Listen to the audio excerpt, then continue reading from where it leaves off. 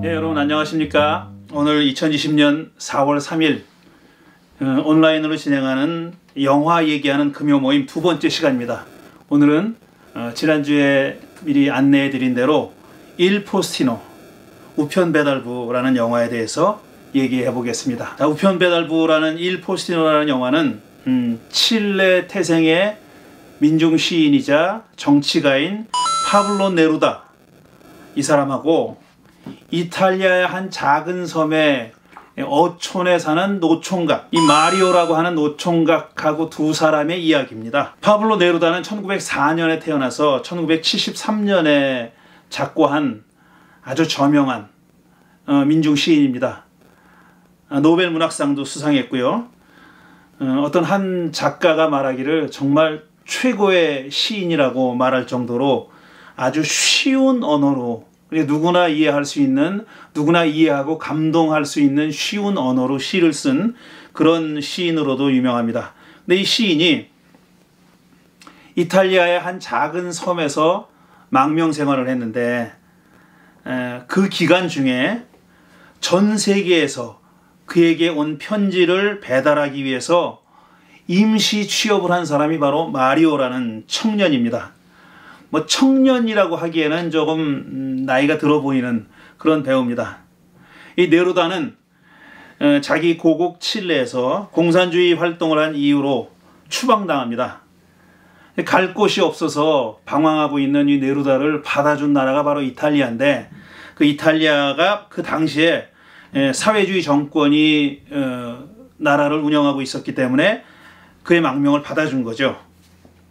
영화는 이 배경, 이 시기를 배경으로 해서 만들어졌는데 원작이 있습니다. 원작은 이 안토니오 스카, 스카르메타라고 하는 사람이 쓴 작은 짧은 소설인데 그 제목이 네루다의 우편 배달부라는 책의 제목의 책입니다. 이 책을 원작으로 해서 어, 만들어진 영화입니다. 이 일 포스티노는 1994년도에 만들어져서 1995년도 지금부터 뭐 한 25년 정도 전이죠. 1995년도 오스카 작품상을 비롯해 가지고 우리가 다섯 개 부문에 나미네이션 됐습니다. 근데 작품상은 못 받았고 어, 음악상을 받았습니다. 또 한 가지 이 영화가 화제가 된 점 중에 하나가 이 영화에서 마리오 역을 맡았던 아시모 트로이시라고 하는 배우가 어, 촬영 끝난 지 12시간 만에 지병인 심장병으로 사망을 했죠.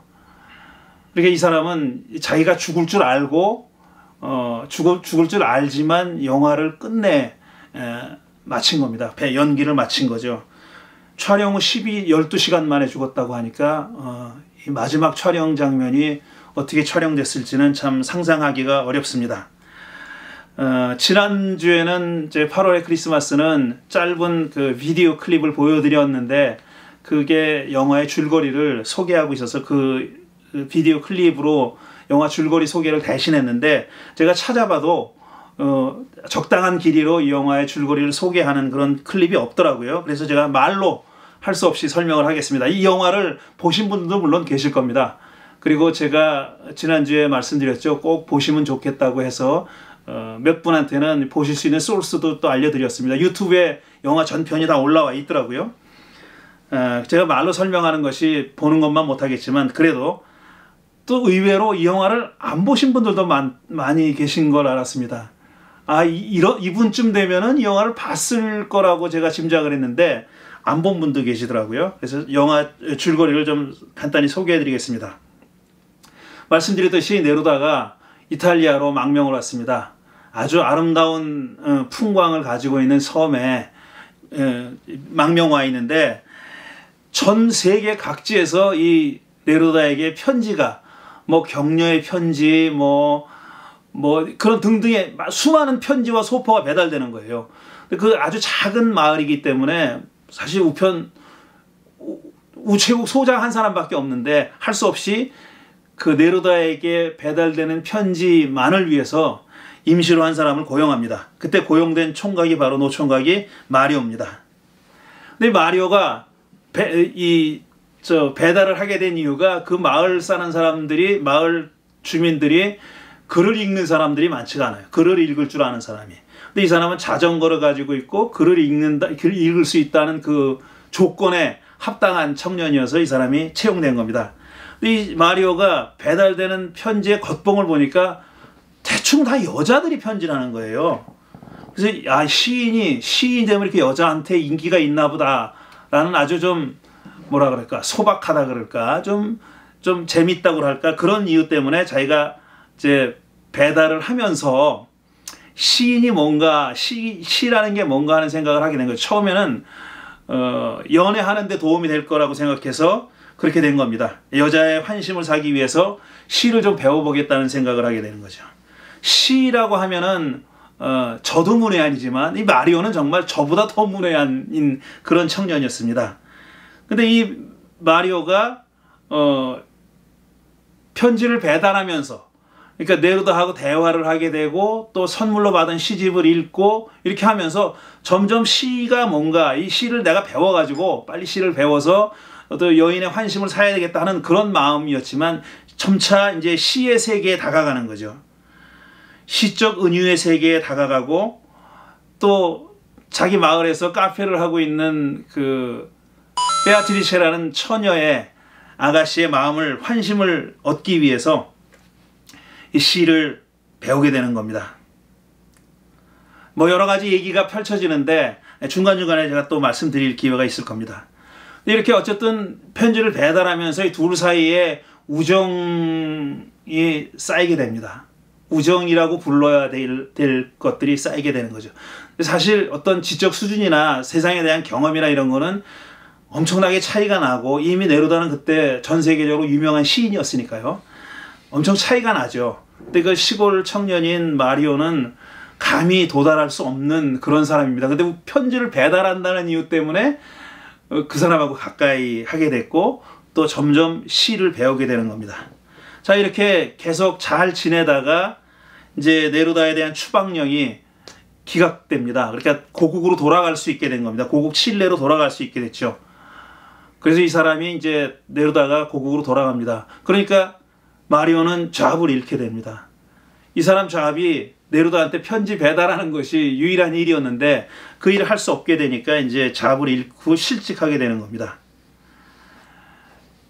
이렇게 헤어진 마리오는 네루다를 그렇게 그리워하고 물론 중간에 이제 베아트리스하고 결혼에 성공해서 이제 직업은 잃었지만 그 카페에서 같이 일을 도우면서 살아가는 거죠. 그 베아트리스의 고모인가 하고 이제 베아트리체하고 마리오하고 셋이 살면서 카페를 운영하면서 사실 마리오는 거기서 이제 뭐 설거지를 하거나 이런 일을 하면서 살아가는 거죠. 근데 이 마리오가 네루다에 대한 그리움을 참 참기가 어려운 겁니다. 그러면서 또 이 마리오가 네루다와 만나면서 어떤 시와 메타포의 세계에만 눈을 뜬 게 아니라 사회에 대한 눈도 뜨게 됩니다. 그 시를 배우면서 또 시를 카피하면서 네루다의 시를 카피하면서 점점 배우면서 그 사람의 사상, 그 사람의 활동 이런 것에 대해도 어, 점점 닮아가면서 세상을 보는 눈이 바뀌고 자기가 어떻게 살아야 되냐 하는 것까지도 어, 네루다를 점점 닮게 되는 그런 영화입니다. 그렇지만 네로다에게는 한 번 떠난 네로다가 소식이 안 오는 거예요. 이제나 저제나 하고 기다리고 있는데 주위 사람들은 뭐 너가 그렇게 가깝다고 하더니 어떻게 이렇게 편지도 한 번 안 할 수 있냐 놀리기도 하고 이런 그렇지만 오죽 바쁜 사람입니까 네로다가 그러니까 뭐 이해하자 이해하자 하면서 기다렸는데 편지가 안, 오, 안 오는 거예요. 그러다가 편지가 한 번 왔는데 기대를 가지고 편지를 열어보니까 그게 사실 네로다 쓴 편지가 아니라 비서가 쓴 편지죠. 자기가 놓고 간 물건들을 보내달라고 하는 그런 비서의 짧은 편지를 받고 실망하는 그런 장면도 나옵니다. 그러던 어느 날 이 마리오가 어, 그 네루다가 살던 집에 가서 녹음기 녹음기를 발견해요. 녹음기를 사실 그, 그 네루다가 녹음기라는 것을 소개해 주죠. 또 이런 이런 신기한 물건이 있다고 소개해 주고 자기가 말한 것을 나중에 계속 반복해서 들을 수 있다는 그런 얘기를 해 주니까 이 마리오가 좀 믿, 믿어지지가 않는 그런 신기한 그 물건이지 않습니까? 그래서 놀라고 그런 일 이 있었는데 그 녹음기를 이제 발견하죠. 녹음기가 있는 걸 발견하고 그 녹음기를 가지고 다니면서 자기 마을에서 들리는 소리들 파도 소리, 뭐 바람 소리, 심지어는 베아트리세가 임신하고 있는 아, 뱃속의 아기 소리, 뭐 또 소리가 나지 않는 별들의 소리, 밤하늘 깜깜한 발에 밤에 별이 총총 떠 있는 그 소리를 녹음하겠다고 녹음을 하지요. 별들의 소리까지 다 녹음하고 그리고 자기가 마지막으로 네루다에게 보내는 자기 육성 편지를 녹음합니다. 몇 년의 세월이 흐른 다음에 네루다가 이 섬에 방문합니다. 카페에 와서 보니까 베아트리체가 낯익은 자기가 중간에 연결해준 마리오하고 연결해준 그 베아트리체를 발견하고 그 다음에 아주 한 대여섯 살 되는 어린 소년이 있다, 있는 것을 봅니다. 얘기를 들어보니 이미 마리오는 죽었다는 겁니다. 그리고 그 아기가 태어나는 걸 보지도 못하고 죽었다는 거죠. 근데 죽게 된 것이 큰 군중 집회에서 그러니까 사회주의자들의 군중 집회에서 마리오가 네루다를 기리는 시를 낭송하게 돼 있는데 낭송하려고 하는 순서에 바로 경찰들이 무력으로 진압하면서 그때 마리오가 어, 죽었다는 얘기를 듣는 거죠. 네루다는 마리오가 녹음해 놓은 것을 다 듣습니다. 대충 영화는 이런 줄거리를 가지고 있습니다. 저는 이 영화를 지금 이제 한 두 가지 정도의 키워드로 말씀드리려고 합니다. 하나는 첫째로 첫째 키워드는 메타포. 이탈리아로 metafore. 그 다음에 두 번째 키워드는 뭐냐면은 아, 사람이라는 것이 어떻게 변화하는가. 변화라고 하는 것. 우리 기독교의 용어로는 그걸 회심이라고 부릅니다. 그리스 말로 μετάνοια. 돌아선다는 말입니다. 그건 그 그냥 그냥 변화가 아니라 전적인 변화를 얘기하는 거죠. 비유하자면 메타포로 얘기하자면은 유턴하는 거예요. 삶의 방향이 이렇게 이런 이 방향으로 가다가 완전히 방향 전환하는 것을 μετάνοια라고 얘기합니다. 그러니까 회심은 눈물 몇 방울 흘리고 내가 뭐 잘못했습니다. 이런 죄를 졌군요. 그러고 눈물 닦고 돌아서는 게 회개가 아니라 그게 회심이 아니라 완전히 삶의 방향을 바꾸는 것. 그러니까 전혀 다른 과거와는 다른 생각과 과거와는 다른 감정과 그 다음에 말과 행동, 실천까지 과거와는 전혀 다른 방향의 삶을 사는 것을 회심이라고 얘기하는 거고 그게 기독교인들은 뭐냐면 그게 바로 예수 그리스도로 인해서 우리가 그 그런 경제 그런 터닝 포인트를 갖게 됐다는 겁니다. 어, 그게 바로 그리스도인입니다. 그리스도인이라는 것은 뭐 성경이 뭐라고 얘기하든지 간에 입에 발린 말로 예수님은 우리 구세주입니다. 제가 죄를, 죄를 회개합니다. 이런, 이런 차원에 먹는, 먹는 것이 아니라 바로 그분 때문에 예수 그리스도라고 하는 그분 때문에 우리 삶이 전적으로 방향이 달라졌다고 스스로 인식하고 그걸 감사하는 사람이 바로 그리스도인입니다.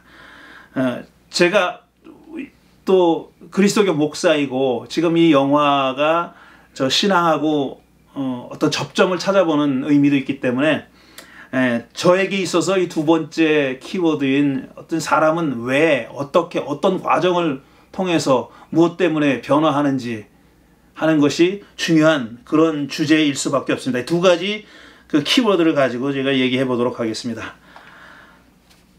마리오는 이, 이 영화는 마리오가 시의 세계를 알아가는 과정을 그리고 있는 거죠. 아주 재미있는 유머 코드들도 많이 있습니다. 그 유머가 그냥 그냥 웃어 웃어 넘기는 그런 유머가 아니라 아, 또 많이 생각하게 만들어 주는 그런 장면들도 많이 나옵니다. 마리오는 네로다에게 묻습니다. 어떻게 하다가 시인이 됐습니까? 어떻게 시인이 됐나요? 하고 묻죠. 그 질문에 대해서 네루다가 이렇게 대답합니다. 해변을 따라 천천히 걸으며 주위, 주위를 감상해 보게. 이렇게 얘기해요. 그러니까 네루다는 자기가 어떻게 하다가 시인이 됐고 어, 시를 배우고 메타포를 알게 됐느냐 하는 것을 어떤 시작에 관한 이론서나 시를 어떻게 쓸 것인가라고 하는 어떤 연습 또 습작 이런 거를 통해서 배웠다고 얘기하지 않고 물론 그런 과정이 그에게도 물론 있었겠죠. 그렇지만 그는 어떻게 하다 시인이 됐습니까? 라는 질문에 대해서 해변을 따라 천천히 걸으며 주위를 감상해 보게 이렇게 얘기합니다. 제가 이 영화를 보면서 정말 제 마음을 두들기는 어, 두들기는 정도가 아니라 꽝꽝 때리는 그런 대사들을 어, 여러 군데 저는 봤는데요. 그 중에 하나입니다. 해변을 따라 천천히 걸으며 주위를 감상해 보게. 알 듯 모를 듯한 그런 권고죠. 보신 분들은 기억하겠지만 이제 내려다가 수영을 하러 해변가에 나갑니다. 근데 계속 마리오가 따라다니면서 시에 대해서 메타포에 대해서 묻는 거예요. 자꾸 물으니까 시인이 그 순간에 자기가 수영을 하러 나와 해변에 나와 있는 순간에 자기 마음에 떠오르는 그런 심상들을 얘기합니다. 막 이렇게 얘기해줘. 그러니까 마리오에게 있어서는 너무나 생경한 일입니다. 너무나 생소한 일이에요. 그렇게 그런 단어들이 그런 언어들이 말해지는 것을 네루다가 말하는 어, 그런 언어들 심상들이 너무 생소한 거예요. 그렇게 그렇게 얘기를 한 다음에 네루다가 묻습니다. 어, 뭘 느꼈나? 내가 지금 하는 얘기를 듣고 마, 말을 듣고 뭘 느꼈나 그랬더니 마리오가 뭐라고 얘기하냐면은 단어가 왔다 갔다 하는 것 같아요. 바다 위의 배가 단어들로 이리저리 튕기는 느낌이에요. 이렇게 얘기해요. 그러니까 잡히지 않는다는 얘기죠. 사실 그, 그 말은. 근데 잡히지 않는다는 말이 무슨 말인지 모르겠다. 아니면 그게 감정적으로 이렇게 잡히지 않는다. 와닿지 않는다라는 얘기를 이렇게 얘기한 거예요. 그러니까 내려다가 이렇게 하진 않았지만 이렇게 딱 하진 않았지만 그게 바로 메타포네 라고 대답합니다. 이 영화는 마리오가 점점 시인이 돼가는 과정을 어떤 때는 굉장히 진지하게 어떤 때는 또 굉장히 유머러스하게 묘사합니다. 이 지금 마리오가 베아트리체하고 가까이 친해지려고 친해지려고 막 여러 가지 시어를 시를 얘기하잖아요. 시를 지어서 얘기하고 심지어는 이 네루다의 시를 막 갖다 도용하기도 합니다. 당신의 미소는 나비처럼 날개를 펼치는군요. 이런 것도 다 베아트리체에게 한 얘기입니다. 또 흥미로운 것은 재미 제가 재밌게 본 것은 내려다가 왜 내 시를 마음대로 네 마음대로 갖다 쓰냐고 어? 자네 마음대로 왜 갖다 쓰나 이렇게 얘기하니까 마리오가 시란 쓴 사람의 것이 아니라 읽는 사람의 것이지요 이렇게 대답하는 비절이 나옵니다. 저는 그 장면에서 정말 소리내서 웃었습니다. 왜냐하면 제가 여러분도 그 제 설교를 많이 들으신 분은 기억할지 모르겠지만 이게 제가 하는 얘기입니다. 책이든지 글이든지 뭐든지 말이든지 말을 일단 하고 글을 쓰잖아요. 그럼 그 말과 글을 어떻게 이해하느냐 하는 것은 저자와 관련 있는 게 아니에요. 그건 읽는 사람이 듣는 사람이 마음대로 할 수 있는 겁니다. 쓴 사람이 이거 내가 나는 그런 뜻으로 쓴 게 아니네 라고 얘기해 봐야 그 사람이 그렇게 안 읽었으면 그렇게 안 읽은 거예요. 심지어는 제가 성경을 안 갖고 왔는데 여기 요, 요 테이블 위에 안 갖고 왔는데 성경도 마찬가지예요. 성경을 쓴 사람의 성경의 저자가 어떤 의도를 가지고 그 글을 썼든지 간에 일단 쓰여지고 나서는 그 사람 손을 떠난 겁니다. 그건 읽는 사람의 것이에요. 읽는 사람의 소유가 되는 거예요. 그 사람이 어떻게 해석하든지 간에 그 필자는 거기에 대해서 그 내 뜻이 아니다 이렇게 말할 수가 없는 거죠. 그런 얘기를 이 마리오가 합니다. 시란 쓴 사람의 것이 아니라 읽는 사람의 것이에요. 라고 당당히 얘기하는 거예요. 이제 마리오가 점점 시라는 것이 무엇인지 시의 세계에 자기도 모르게 정말 가랑비에 옷 젖듯이 가네, 옷 젖듯이 그렇게 점점 점점 빠져들어가는 거예요. 제가 그 네루다가 영화에서는 그렇게 많이 그 눈에 보이게 표현하지 않는데 어, 그 그런 마리오를 보면서 얼마나 기분 좋았을까 하는 생각을 저 혼자 해봤습니다. 근데 이 마리오가 시를 통해서 눈뜨게 되는 것은 메타포의 세계만이 아니라 우리가 살아가는 현실 세계에 대해서도 점점 눈을 뜹니다. 제 눈에 많이 띈 장면이 이 영화를 보면서 많이 띈 그런 장면들이 바로 그런 겁니다. 세상에 대해서 참 무지했습니다. 그냥 글이나 조금 읽을 줄 아는 빨리 읽을지도 모르고 그냥 천천히 글을 읽을 줄 아는 마리오였었어요. 그 마을 사람들이 다 그렇게 무지하고 그 마을에 정치가 나와서 계속 자기를 표를 달라고 하잖아요. 표를 달라고 하고 자기를 선출해 주면은 뭘 하겠다 약속해 놓고 금방금방 철회하고 그건 뭐 1950년대에 그 이탈리아의 섬 마을이나 지금 2020, 2020년을 사는 우리 고국이나 비슷한 것 같은데 어, 크게 다르지 않은 것 같은데 다 약속을 하고 공약을 하고 나서 뒤집는 그런 일이 거기서 조금 어 뭐라 그럴까 너무 악하지 않게 그려지고 있는 그런 모습이요. 뭐 수도 공사를 한다고 와가지고 그 카페에서 계속 밥 먹겠다고 다 약속을 하죠. 그러고 나서 며칠 일하다가 다 철수해 버리잖아요. 그러니까 이사 그 카페 주인 베아트리스의 고모인가 그 주인은 그거 하려고 다 대출도 받아놓고 했는데 그거 다, 다 날리고 손해보고 이런 장면들이 나와요. 이런, 이런 일들이 그 이전에는 계속 있었죠. 그 선출된 정치가는 계속 그런 식으로 그 민중들을 속인 겁니다. 그런데 거기에 대해서 아무 말하는 사람이 없었던 건 심지어는 마리오조차도 거기에 대해서 무관심한 그런 사, 사이였었는데 그런 상태였었는데 그가 네루다를 만나고 시의 세계를 만나고 메타포를 만나면서 현실 세계에 대해서도 눈을 점점 뜨고 있는 거죠. 그러니까 저는 어, 저는 그렇게 시에 대해서 어, 과거에는 제가 젊었을 때는 그래도 시 좀 읽어보려고 많이 읽어봤습니다. 제가 제가 책을 하나 꺼내봤는데 어, 이게 김남주 시인 유명한 김남주 시인 이 번역을 한 아침 저녁으로 읽기 위하여라는 제목의 책인데 이게 하인의 브레히트 네루다 이 세 사람의 시의 시를 갖다가 모아서 번역해 놓은 겁니다. 번역자는 김남주 시인이고요. 제가 네루다라는 시인을 처음 만난 때가 이때였었어요. 이 책은 1988년도에 나온 책인데요. 어, 제가 이 책을 읽으면서 아, 이 네루다라는 시인이 있었고 그리고 저는 잊어버렸죠 또.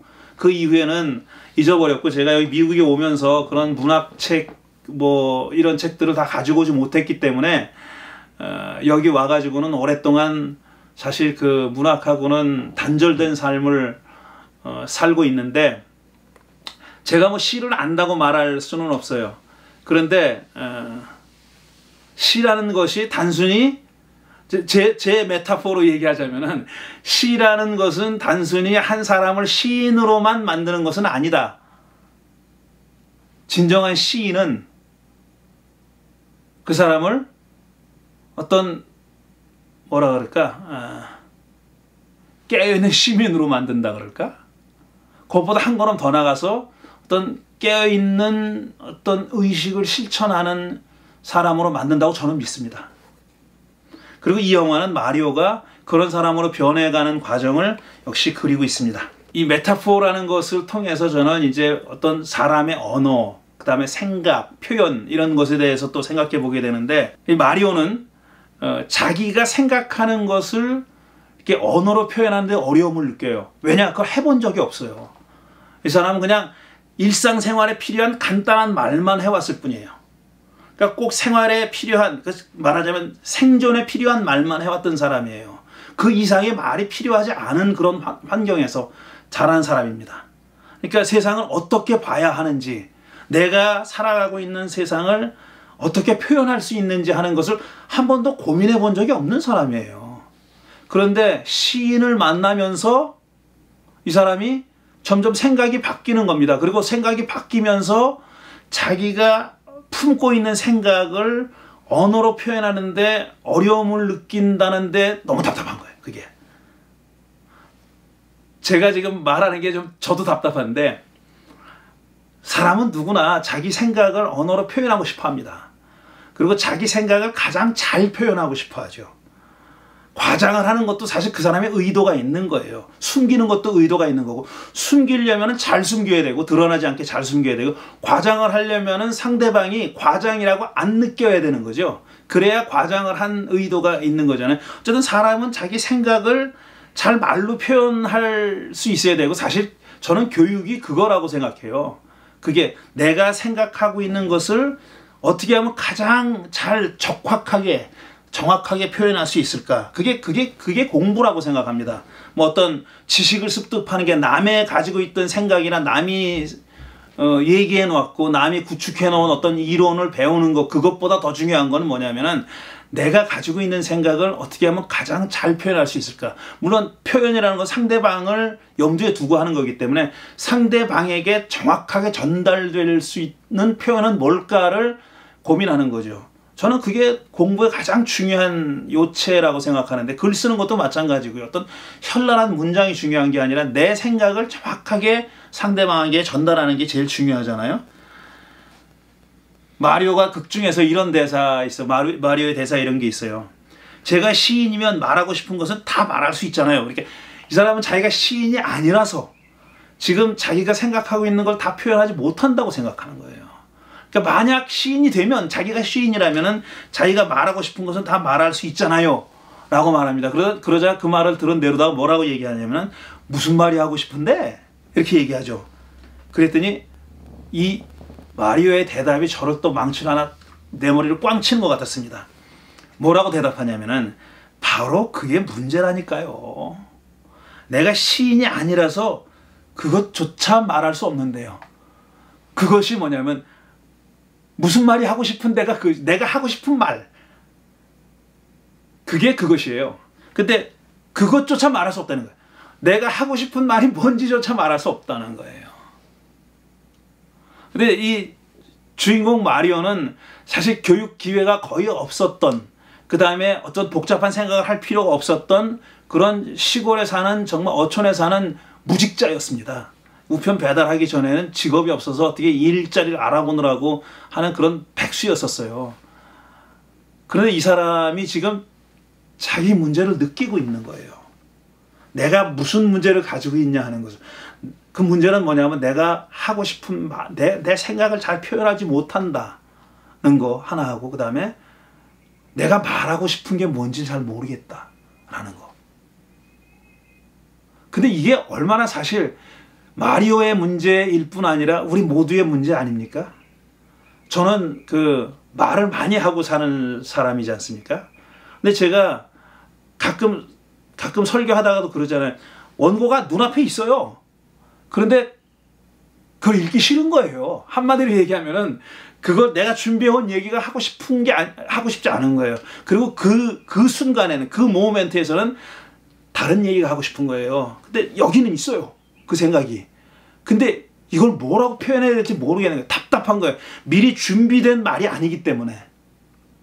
미리 준비된 말이 아니기 때문에 즉석에서 바로 얘기를 해야 되는데 그게 잘 안 되는 거예요. 근데 저만 그렇겠습니까? 여러분 모두 다 비슷한 생각을 하지 않습니까? 뭔가 이렇게 말하고 싶은데 말로 잘 표현이 안 되는 그런 거. 마리오가 어느 시점에서는 네루다에게 이렇게 묻는 경우도 있습니다. 제가 세상을 설명할 수도 있다는 말씀이세요? 이렇게 물어봐요. 세상을 설명하는 것, 세상을 이해하는 것, 세상을 해석하는 것. 그건 철학자들의 일입니다. 물론 어떤 철학자는 칼 막스라고 하는 철학자는 철학이 거기 그쳐서는 안 된다고 얘기했죠. 세상을 설명하는데 그쳐서는 안 돼. 세상을 바꿔야 된다. 그렇게 얘기했죠. 근데 설명하고 바꾸는 일은 사실 두 개의 다른 일은 아닙니다.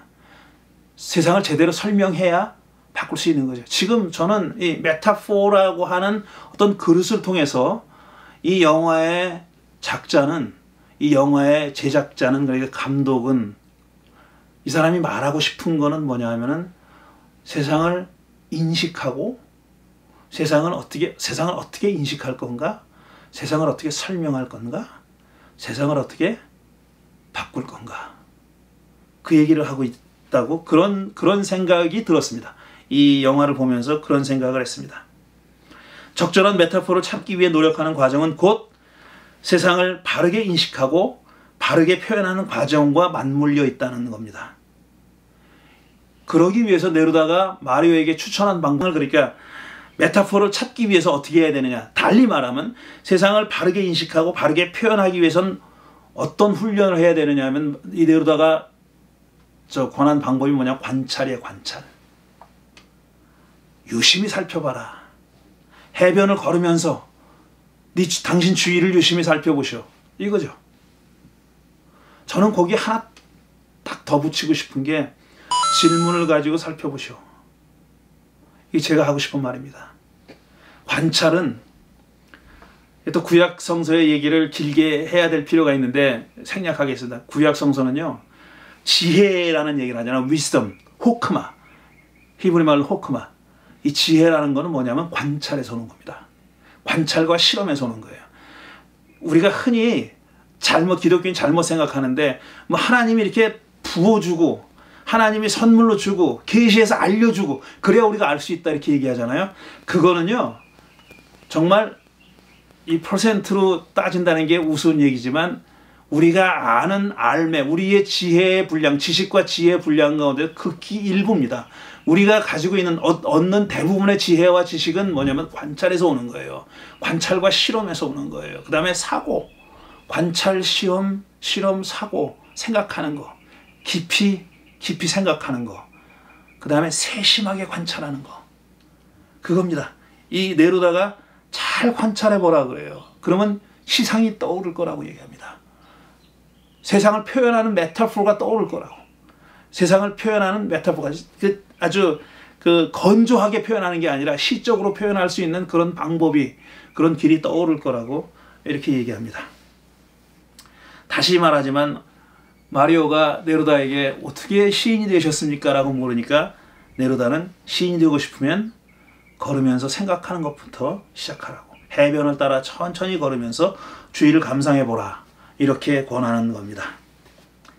제가 보니까 네루다가 쓴 시집 중에 시 중에서 시라고 하는 시가 있더라고요. 시라고 하는 제목의 시가 있는데 여러 연어로 되어 있는데 그 제 1년만 제가 한번 읽어보겠습니다. 이게 바로 네루다가 어떻게 시인이 됐냐 하는 것을 간접적으로나마 우리가 알 수 있는 그런 그런 시라고 생각해서 가져왔습니다.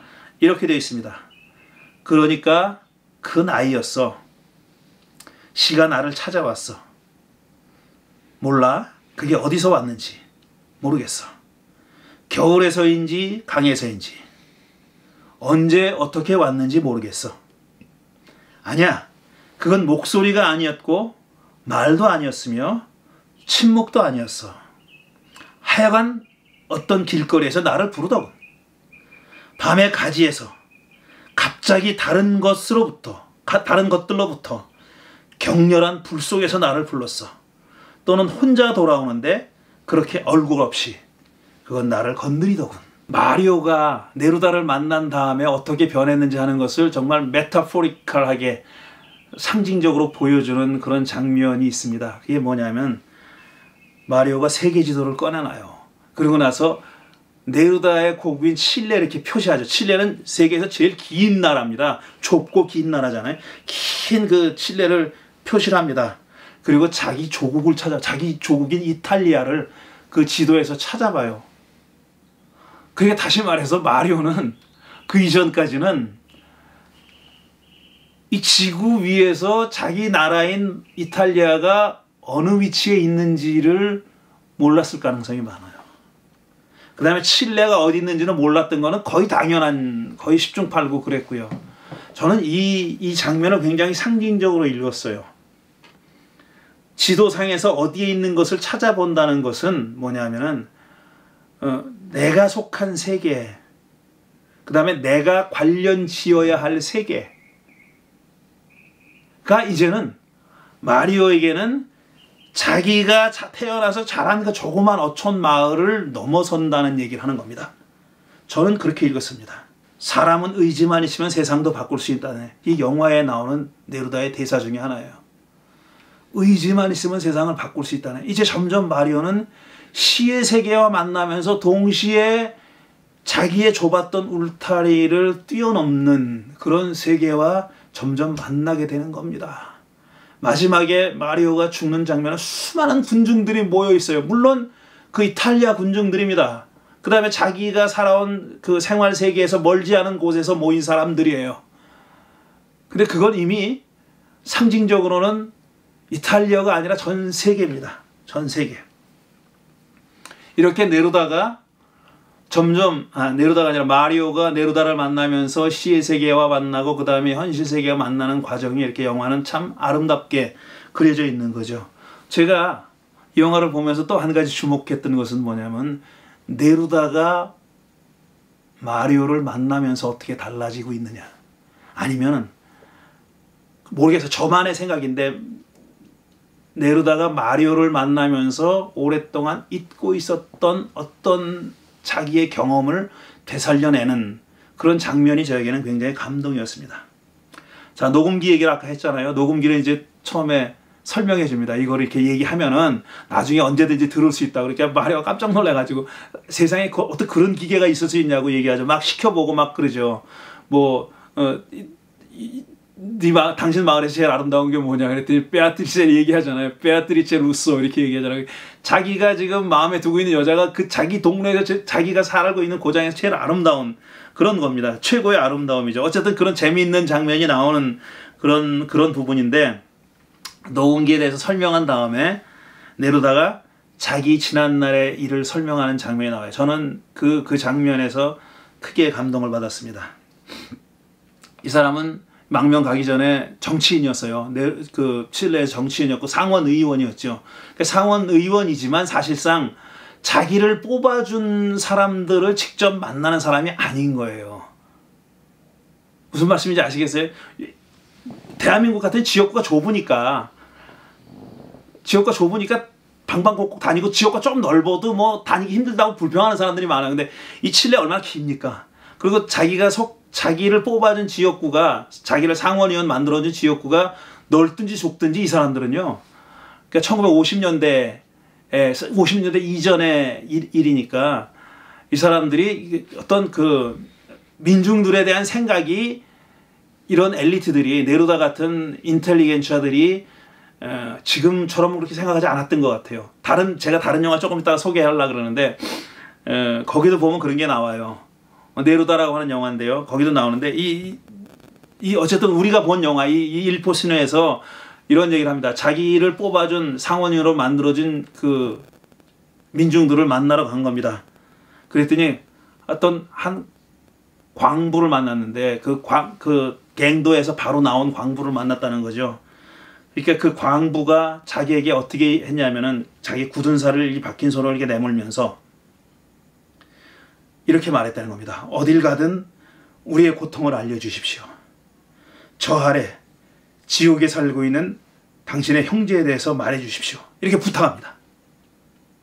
그 광부가 정말 땀에 절은 땀과 먼지에 절어서 좀 바라보기도 힘들 힘들 정도의 그렇게 엉망이 된 광부가 그 굳은 소를 내밀면서 네루다의 손을 잡고 그렇게 얘기했다는 거예요. 어딜 가든 우리의 고통에 대해서 알려주십시오. 저 지옥 같은 곳에 우리 형제가 있다는 것을 알려주십시오. 라고 얘기했다는 거예요. 네루다가 그때 그때 결심했다고 합니다. 내가 우리 우리 우리 민중들의 투쟁에 대한 시를 써야 되겠다. 이런 결심을 했다고 영화에서 얘기합니다.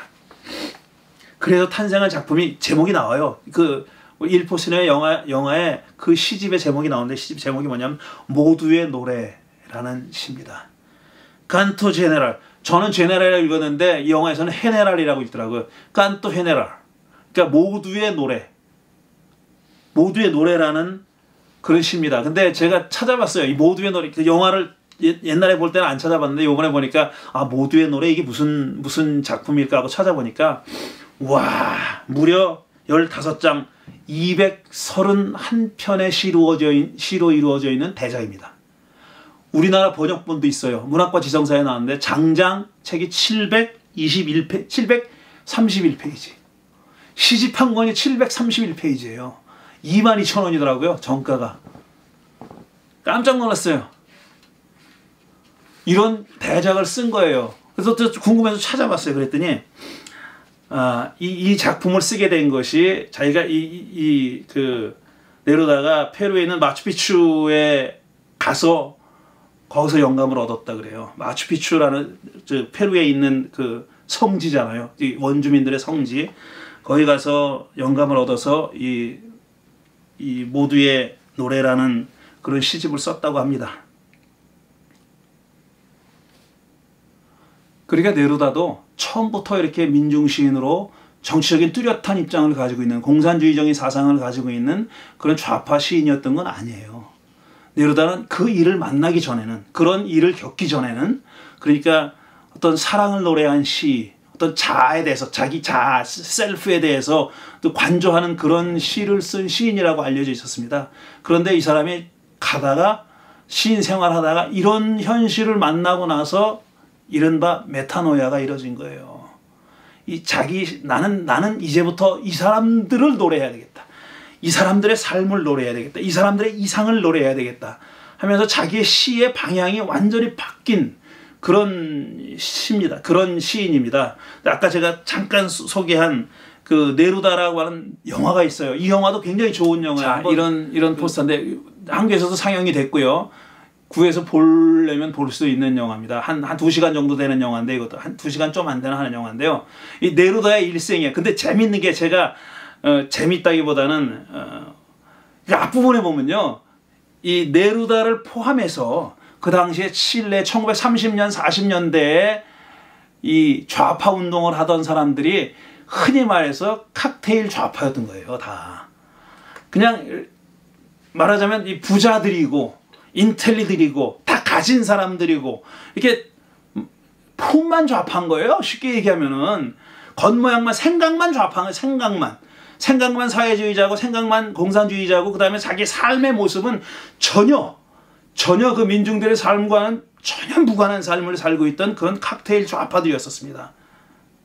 한국의 강남 좌파만도 못한 그런 좌파들이었었어요. 그리고 네루다도 그 중에 한 사람이었었어요. 근데 이게 이 사람이 이제 정부의 탄압을 받고 돌아 피해 댕기고 뭐 어쩌고 하면서 아까 영화에서 얘기했듯이 그렇게 정말 민중들의 고단한 그 사람의 표현대로 하면 지옥 같은 그런 삶을 살고 있는 사람들과 정말 벌거벗고 만난 거예요. 아주 직접적으로 만나면서 이 사람이 완전히 달라진 겁니다. 앞으로 나의 시는 나는 나는 이런 시를 쓰겠다. 나의 삶은 그런 삶을 살겠다 하고 완전히 달라진 그런 그런 삶을 살게 된 거죠. 마추픽추에서의 경험, 그 다음에 또 하나 정치적인 경험이 있는데 네루다가 1930년대입니까 언젠가 이 사람이 또 외교관입니다. 그래가지고 스페인의 공사로 영사로 나가서 이렇게 일을 했는데 그때 당시에 스페인의 내전이 벌어져요. 스페인의 내전이 벌어지면서 이 독재자들이 스페인의 독재자들이 그 저항하는 민주주의를 위해서 저항하는 인민들을 민중들을 무참하게 학살하는 장면을 이 사람이 자기 눈으로 봅니다. 그, 그 이전에는 네루다가 스페인이라고 하는 발달된 나라에 대한 동경을 가지고 있었어요. 그 다음에 스페인의 자유분방함, 그 다음에 시적이고 굉장히 예술적인 나라지 않습니까? 그 예술적인 그런 동경을 가지고 있었어요. 왜냐하면 자기는 남미에 정말 저개발된 못 사는 칠레 출신이잖아요. 근데 유럽에 와서 외교관 생활하면서 그 동네 사람들의 그, 그 당시에 그 높은 수준의 삶을 예술적인 삶, 그야말로 예술적인 삶을 사는 거 보고 동경을, 동경을 하면서 살았는데 독재자들이 그렇게 하는 걸 보고 이 사람이 완전히 생각이 또 달라집니다. 바뀐 거죠. 저는 이 그 이야기를 네루다의 삶에 대한 이야기를 보면서 역시 또 생각이 난 영화가 하나 있었습니다. 그게 바로 모터사이클 다이어리라는 영화입니다.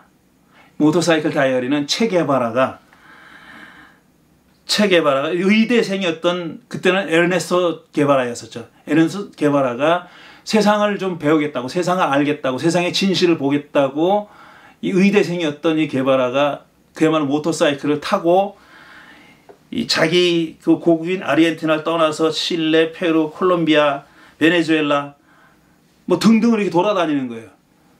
아르헨티나에 시작해가지고 쭉 돌아다니면서 몇 달 동안 돌아다니면서 자기가 보고 느낀 그런 것을 쓴 다이어리입니다. 근데 그게 사실 그 게바라가 혁명가로 새로 태어나게 된 계기가 됐죠. 또 하나 하나의 에피소드는 게바라가 사실 70몇 년이니까 잡혀가지고 죽잖아요. 처형당하잖아요. 그때 게바라가 가지고 있었던 책 가운데 하나가 바로 이 깐토 제너럴 모두의 노래 네루다의 모두의 노래라는 시집을 가지고 있었다고 그렇게 알려져 있습니다. 그러니까 네루다도 이 사람도 메타노이아를 경험한 사람인 거예요. 사람은 시의 세계를 만나서 했다기보다는 어떤 정치적인 사건을 겪으면서 자기의 시의 방향이 바뀌었다면은 마리오는 정말 순진하고 순박하고 아무것도 세상을 모르던 사람이 시의 세계를 만나면서 그 시인의 세계와 또 접하면서 새로운 눈을 뜨게 되고 세상을 바라보게 되는 그런 변화의 과정을 겪는 거죠. 그 영화, 그 이야기가 이 두 사람의, 사실상 두 사람의 변화 이야기가 시와 메타포와 그 다음에 유머러스한 여러 가지 에피소드와 함께 잘 버무려져서 만들어진 영화가 바로 이 일포스티노라고 하는 영화입니다. 제가 시에 대해서는 굉장히 소질이 없거든요. 시를 쓰라 그러면 저는 죽어도 못 씁니다. 죽어도 못 쓰는데 그래서 사실 시를 잘 감상할 줄도 몰라요. 제가 막뭐 복잡한 메타포가 나오는 시는 잘, 잘 저, 저에겐 감이 안 오는데 그런 저조차도 읽으면서 암송 외우게 되고 암송하게 되고 어, 느낄 수 있는 시가 바로 이 네루다의 시입니다.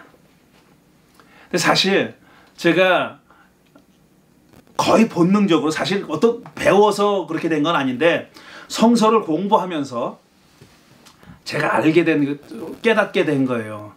뭐 성서를 해설하는 책들 보면은 이제 이런 말도 있어요. 구약은 산문도 시다. 이런 말이 있습니다. 구약은 산문도 시다. 라는 말이 있어요. 그 말이 틀린 말이 아닌 것이 사실상 운율이 있습니다. 산문도 운율이 있어요. 심한 운율이 있는 게 아니라 산문도 운율이 있어요. 왜냐하면 구약 성경은 처음에 이렇게 읽는 책이 아니라 암송하는 책입니다. 소리 내서 읽어야 되는 거예요. 히브리 사람들은 지금도 구약 성경 소리 내서 읽어요. 소리 내서 읽으려니까 정해진 물론 일탈도 있지만 정해진 운율들이 있습니다. 산문도 운율이 있어가지고 이렇게 운율이 있어야 외우기도 쉽고 기억하기도 쉽고 그렇습니다. 그래서 어, 운문처럼 읽을 수 있는 것이 구약인데 산문도 운문처럼 읽을 수 있는 것이 구약인데요. 사실 그거보다 중요한 건 뭐냐면은 구약은 역사책처럼 쓰인 부분도 그러니까 뭐 예를 들어 창세기 출애굽기 민수기 여호수아 사사기 사무엘 역대기 열왕기 이런 거 다 역사책의 형식으로 쓰여져 있어요. 역사책처럼 쓰여져 있어요. 누가 왕위에 몇 살 때 올랐고 몇 살에 뭐 죽었고 이런 얘기. 그러다 역사 사료에나 나오는 이야기들이에요. 그 왕이 무슨 일을 했고 그때 무슨 일이 일어났고 역사책처럼 쓰여져 있는 그런 책인데 저는 그런 것까지 다 포함해 가지고 구약 성서는 저는 메타포로 읽어야 된다고 생각하는 사람입니다. 근데 저만 그런 게 아니에요. 사실 구약 성서를 그 해석해온 많은 유대교와 그리스도교 사람들이 그리스도교 학자들이 구약 성서를 메타포로 읽어서 물론 그거를 너무 지나치게 어떤 한 단어가 뭘 상징하는 것처럼 자꾸 이렇게 얘기하는 것도 문제가 되는 거죠. 신천지나 이런 사람들이 계시록을 가지고 지멋대로 해석하듯이 그렇게 그거 다 메타포로 읽는 거거든요, 사실상. 그러니까 14만 4천 이게 메타포인데 그것도 직역을 해서 읽었다가 또 아니라고 읽고 막 이런 이런 거잖아요. 근데 그게 대부분의 성서의 언어들은요, 메타포릭한 언어입니다. 상징적인 언어예요. 뭔가를 가리키는 어떤 그 이정표 같은 손가락 같은 거예요. 이것 자체도 내용이 있지만 그걸 가리키는 말 내용이 있지만 궁극적으로는 이게 궁극적인 의미가 아닙니다. 그 언어가 language가 말들이 말들이 그러니까 텍스트가 궁극적인 의미가 아니고 텍스트는 뭔가를 가리키는 거예요. 뭔가를 지시하는 겁니다. 그거를 우리는 찾아내는 것이 필요하고 과하지 않게 말하자면 모든 걸 다 지멋대로 metaphorical하게 자기 멋대로 해석하는 게 아니라 거기서 어떤 규칙이나 원칙을 찾아내면서 metaphoric하게 읽어야 되는 게 성경입니다. 그러니까 성경을 우리가 메타포로 읽는다는 거는 어, 성경 안에 있는 그렇게 아주 plain한 말처럼 아주 평범한 말처럼 보이는 그런 언어들 가운데 그런 상징적인 의미를 찾아내는 것이 필요하고 사실 그거는 굉장히 위험한 일이거든요. 어, 그거는 많이 경험이 돼야 되고 많이 훈련이 돼야 되는 일입니다. 그러니까 한번 갑자기 영감처럼 떠올랐다 그래가지고 야 이거 하나님이 나에게 주신 영감이다 그러고 막 쫓아가려고 해서는 안 돼요. 그게 다른 귀절들도 그렇게 볼 수 있느냐 하는 것을 봐야 되는 겁니다. 그러니까 어떤 성서로서의 메타포 어, 메타포로서의 성서 읽기 이런 훈련이 우리에게 필요하다는 말씀을 꼭 하고 싶고 또 하나는 어, 제가 그 예수와 함께 본 영화의 일포슨에 대한 그 챕터가 있습니다. 이 책에서는 제가 뭘 생각했냐면은 자 내려다가 이제 가, 고국으로 돌아갔잖아요. 그 다음에 이 남아 있는 마리오와 그 가족들은 그 네루다를 굉장히 그리워하고 사모하고 여전히 자기들과 친밀한 관계에 있다고 믿습니다. 그런데 소식이 안 오는 거잖아요. 소식이 안 오니까 계속 기다리다 기다리다가 뭐 계속 그 합리적인 이유로 찾아내는 바쁘니까 못 하겠지. 그동안 망명 하고 있는 동안에 얼마나 사람을 못 만났어. 그 사람들 만나느라고 우리가 우리를 생각할 여유가 없겠지 없겠지 이러면서 한편으로 기다리거든요. 전 안부가 오지 않나 연락이 오지 않나 기다리죠. 그러니까 근데 그가 몇 년 지난 다음에 그 섬에 다시 왔을 때 처음에 보인 그 사람의 태도를 보면은 마리오는 잊어버린 거예요. 마리오를 기억해서 잊어버렸다는 게 아니라 그가 그가 그의 삶에 그의 삶에는 그의 자리가 없는 겁니다 이미.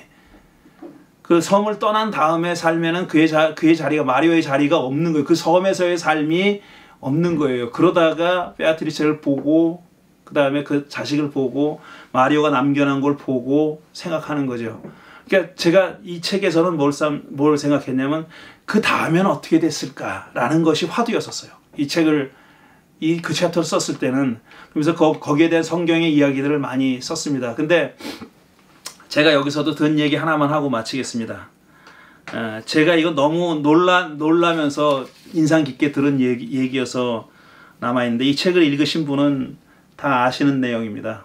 제 스승님 안병우 선생님은 그러니까 1960년대부터 아주 많은 글을 써오시고 그다음에 설교하고 그다음에 그 저작을 많이 남기신 분이에요. 그분은 학술적인 저작들도 굉장히 훌륭한 그런 저작들이 많이 있어요. 책, 학문적인 책들. 근데 학문적인 책들뿐 아니라 어떤 에세이적인 성격을 가지고 있는 글들 아니면 설교 이런 것도 기가 막힙니다. 정말. 그게 뭐라고 얘기해야 되나. 그분의, 제, 제가 감히 이렇게 얘기하는데 그분의 글을 읽은, 읽고 그분의 설교를 들은 사람은 다른 아무 설교가 눈에, 귀에 안 들어옵니다. 정말. 제가 그랬어요. 그 다음에 그분의 제가 한참 미쳐가지고 80년대 20대 제가 그분의 책에 거의 미치다시피 해가지고 모든 책과 글을 끌어모으고 막, 막글 읽었을 때는 너무 심취해가지고 제가 완전히 빠져 있었어요. 완전히 빠져 있었던 사람이에요. 이게 저의 정말 우상 같은 그런 그런 인물이었었어요. 근데 그때 안병무라는 분은 저를 몰라요. 어느 한 구석에 이런 놈이 당신한테 푹 빠져가지고 정말 메타노이아를 경험한 어떤 청년이 있다는 사실을 전혀 모릅니다. 저는 그때 보수여단에 속해 있었고, 그 다음에 학교를 바꿔서 이제 그 한신으로 가려고 막 고민하고 있었던 시절이에요. 82, 3, 4, 5년 이때니까. 그때 안병무 선생 만나기도 전입니다. 제가. 그러니까 그때 이미 저는 완전히 그냥 심취해 있었던 거예요. 근데 이런 사람들이 저만 있었겠습니까? 많았던 거예요. 그 중에 하나 얘기를 들은 겁니다. 그 안명우 선생님의 조카 되시는 분이 있는데 옆에서 많이 도와드리신 분이에요. 안, 안 선생님이 이제 건강이 안 좋아서 몸이 많이 불편하시니까 옆에서 정말 그 비서처럼 모든 일들을 다 도와주고 일정도 다 봐주시고 어디 가서 라이드도 해주시고 다 그런 분이 계셨어요. 그분이 사업을 하셨는데 어떤 소송이 걸린 겁니다. 사업 하시던 분이 뭐 소송이 많이 걸리잖아요. 소송이 걸려가지고 변호사가 필요하게 된 거예요. 그래가지고 누가 변호사를 소개받았어요. 근데 변호사 소개받았는데 어떤 그게 그 양반이 이제 구로공단 쪽에서 노동자들을 변호하는 그런 일을 주로 했던 변호사를 소개받은 거예요. 아, 이, 이 양반이 도와줄 거라고. 근데 보니까 만나보니까 자기는 그런 일이 아닌 거예요. 그게 뭐 노동자 관련이 아니라 사실 그 어떤 금융 관련된 일이었던 걸로 기억하는데 그 만났어요. 만나가지고 이렇게 얘기를 해보니까 믿을만하고 맡길만한 분인 거예요. 전혀 상대방에 대해서 모르는 상태에서 둘이 만난 겁니다. 그러다가 이분이 제 그 안 선생님 조카분이 물어봤어요.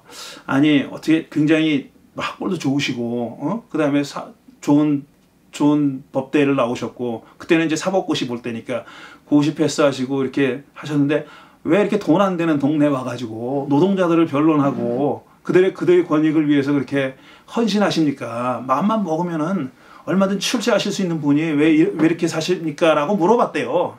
그랬더니 그분이 씩 웃으면서 하는 대답이 아마 제, 가 얘기해도 모르실 겁니다. 어떤 분한테 영향을 받아서 그래, 그렇게 됐습니다. 그래서 제가 학교 다닐 때 그분한테 영향을 받아가지고 제가 이런 삶을 살게 됐습니다. 그러더래요. 그분이 누굽니까? 그러더니 안병부라는 분입니다. 그러더래요. 그 조카분이 저한테 해준 얘기입니다. 깜짝 놀라서 이분이 아니 그분은 어떻게 아십니까? 그랬더니 저는 모르죠. 책으로만 만났습니다. 책을 읽으면서 그분의 생각에 영향을 받아가지고 자기 삶의 방향을 일로 결정했다. 이렇게 얘기하더래요. 그러니까 그분이 제 이모부십니다. 그랬더니 얼마나 놀랐겠어요. 그분이. 네루다에게 이, 이, 이 이야기는 픽션이에요. 그 소설 그 우편 배달 네루다의 우편 배달부라고 하는 소설을 가지고 약간 변형시켜 가지고 영화로 만든 건데 이제 픽션이죠. 이 장 이 장면은 다 영화에 나오는 장면들은 이제 꾸며낸 얘기인데 어, 네루다도 모르는 가운데 여기는 아는 사람이지만 모르는 가운데 수많은 사람들이 그의 시를 읽고 그의 삶에 영향을 받아 가지고 어, 새로운 삶을 경험하는 그런 사람들이 경험한 사람들이 얼마나 많았겠습니까? 저는 이런 것이 저 위에 계신 분의 섭리라고 생각합니다. 그렇게 믿습니다. 우리가 있는 자리에서 성실하게 최선의 삶을 살 때 자꾸 설교처럼 되는 게 문제인데 우리가 있는 자리에서 성실하게 진실하게 거짓 없이 빛나진 않을지언정 성실하게 사는 사람들이 어떻게든지 좋은 영향을 미쳐서 우리가 상상할 수 없었던 곳에서 그 사람에게 영향을 받아서 같은 길을 걷는 사람들이 반드시 생긴다. 그게 저는 우리가 사는 세상을 바꾸는 힘이 바로 거기서 나온다고 그렇게 믿습니다. 저는 이 영화에서 그런 만남이 이루어진 두 사람을 서로 변화시켜준 그 두 사람의 진솔한 우정 그거에 감동받았습니다. 예, 오늘 얘기는 여기까지고요. 다음에는 이와 비슷한 영화고 심지어는 여기서 네로다로 나왔던 사람이 등장하는 거기도 출연하는 영화입니다. 바로 시네마 파라디소, 시네마 천국이라는 영화에 대해서 얘기하도록 하겠습니다.